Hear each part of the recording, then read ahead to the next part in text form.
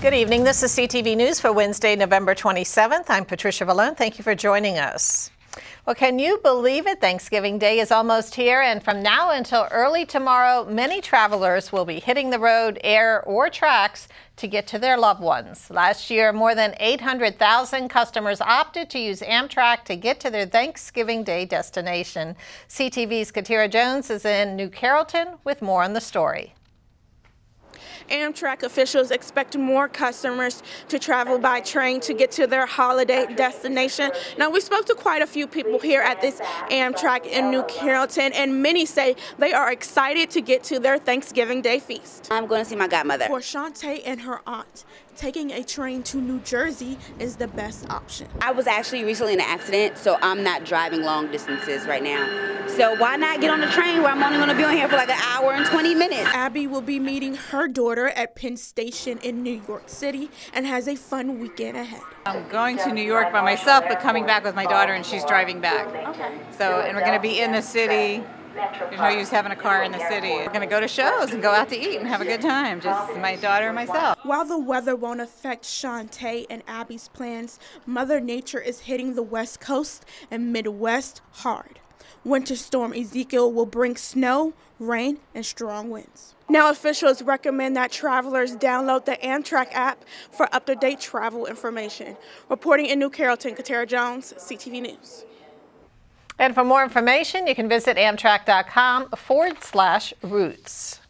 Well, you can't talk about holiday travel without talking about John, John Townsend of AAA. Tonight, CTV's Byron Scott delves into traffic and Townsend. I started looking at ways to express that. If you live or work in the DMV, it's hard not to know who John Townsend is. This job is one of the most fruitful jobs I've ever had. Especially around the holidays when folks are ready to hit the roads and he's ready to have fun with words. And this year, as 1.35 million of us in the DC region are heading out of town, Townsend is at it again. And Thanksgiving is the only holiday that has no gal to it. Of the 1.35 million people traveling this holiday season in our area, most are doing so by car. And many of those are driving on I 95, and a lot of those folks are stopping off right here at the Laurel West area. My name is Wanda Sneed, and I'm from South Boston, Virginia, really Scottsburg, Virginia and we're heading to Avondale, Pennsylvania. To be sure, it's Townsend's job in part to help us get to where we are going safely and with the least amount of stress as possible. Yet it's hard to imagine anyone else having as much fun. You can get easily frustrated and vexed by sitting in all the gridlock that is going to rain down across the Washington metro area. Townsend, who was a speechwriter in the Clinton administration, puts together press releases like no one else you know, I've been here 15 years, and I don't ever like saying the same thing every year. In writing about Thanksgiving 2019, he speaks of kith and kin. Old Scottish term for friends and relatives. In that same release, he refers to the holiday using the Danish term hygge. It is that warm glow of being with loved ones, being with the family.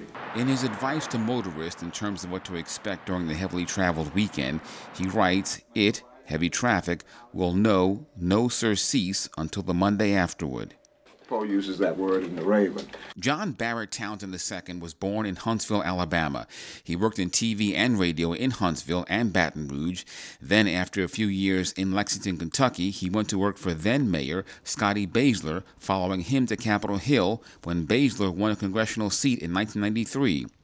Townsend has long wanted to be a political commentator, but. And let me tell you, they, I probably, with what's going on in Washington now, I, I probably would have been fired. now a public relations manager with AAA, he loves the advocacy work he does. As for holiday travelers, hitting the roads with a lot of others is part of the experience. Everything is great until you hit the Goethals Bridge, and then it's dead stop. So we're expecting that. We are. So too is talking about it with John Townsend. So what are you doing Thanksgiving? Family and friends. Kith and kin. Kith and kin. Byron Scott, CTV News. Well, Metro riders can get to where they need to go even easier thanks to Apple Maps. You will now be able to see detailed transit schedules, live departure and arrival times, the current location of a Metro train or bus, and transfer points. In other Metro news tomorrow on Thanksgiving Day, the train system will open at 8 a.m. and close at 11 p.m. and will operate on a Sunday schedule. Buses will also operate on a Sunday schedule as well. Well, if your trash or recycle pickup falls on Turkey Day, the county wants you to know that they will be back out on the street the very next day, Friday the 29th. For those whose collections are picked up Friday, your day will slide to Saturday. For more information on holiday schedule changes, you can call County Click 311 or visit online at princegeorgescountymd.gov. Well, as you watch the, Macy's Thanksgiving Day Parade tomorrow, you may notice a familiar marching band participating. Morgan State University's band, known as the Magnificent Marching Machine, will be leading the parade. It's one of 11 bands selected to participate in the festivities. The university is the first and only HBCU band from Maryland to ever be invited to perform in the parade's 95 year history. It was like a whole lot of work to get here. So, you know, I'm just trying to like do it for the whole city, do it for Morgan State.